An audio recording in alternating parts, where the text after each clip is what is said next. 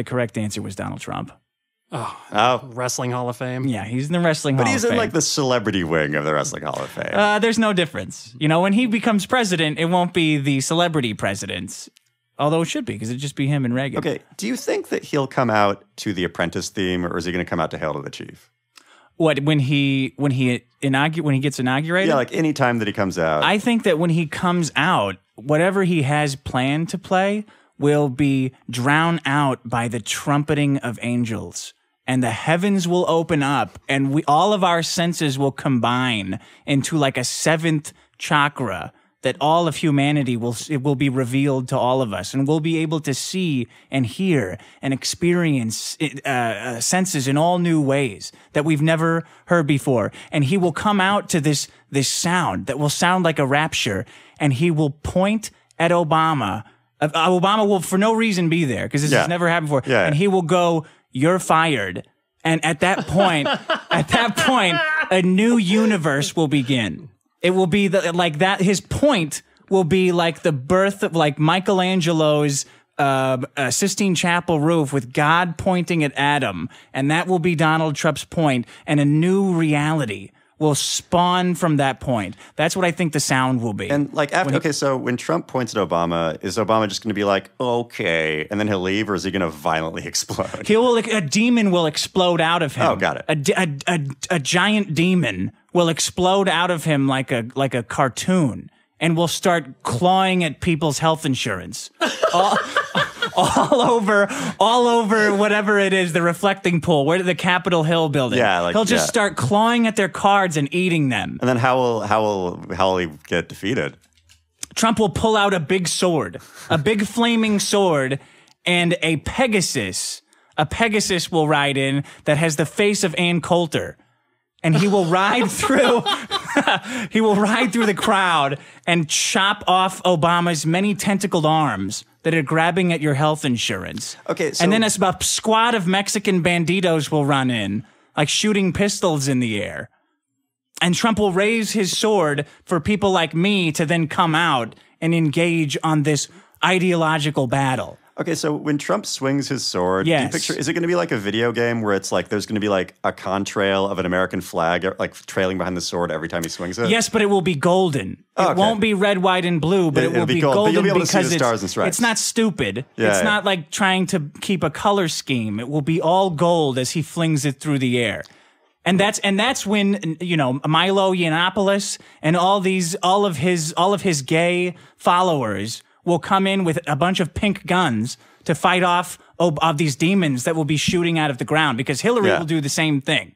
She'll Yeah. melt into like a Terminator robot. Oh, God. And all these spawned aliens will start shooting out of her. Okay, so are you, so you're ready to fight in his personal army? That's what I've been preparing for this whole time. That's what I've Yeah. been trying to tell people about. But yes. well, okay, so if you want if you want to serve in Donald Trump's personal army, what's like the best advice that you give somebody to like be a good Trump army guy? You got to go on his website and buy a hat, first of all, and then you spend all day shit posting on Reddit and Twitter about it. Okay. That's how he knows. He's like Santa. That's fair. Like that's Yeah. his list is he's got a big old checklist and if you've done enough shit posting for the day, you get a check mark. So okay, so when you buy his hat and put it on, when he pulls out his sword, will, Yes. will the hat like surround you like a suit of armor, or like is there some mythical thing with that? Yes. The the what protects you in that what will protect you in that instance is uh, is an aura is an aura of unstumpability. Oh God, That's what I call it. So Yeah. these demons will come at you Yeah. and try to stump you. These little Hillary they'll just they'll demons. just be like, could uh could Jesus make a taco so delicious? yes, they'll try to stump you up. There, and then you'll be like, oh geez. they'll say things like, "Why do you need a gun?" And you'll be like, "Well, you'll try to explain yourself to them, but your your but, but, but anti-stumpery but the, field." But the hat just makes it like, and you're like, I know why I need a gun. And you're like, I don't have to explain myself Yeah. to you, you bitch. It's called the Second Amendment, and you'll chop at them with a sword. Yeah.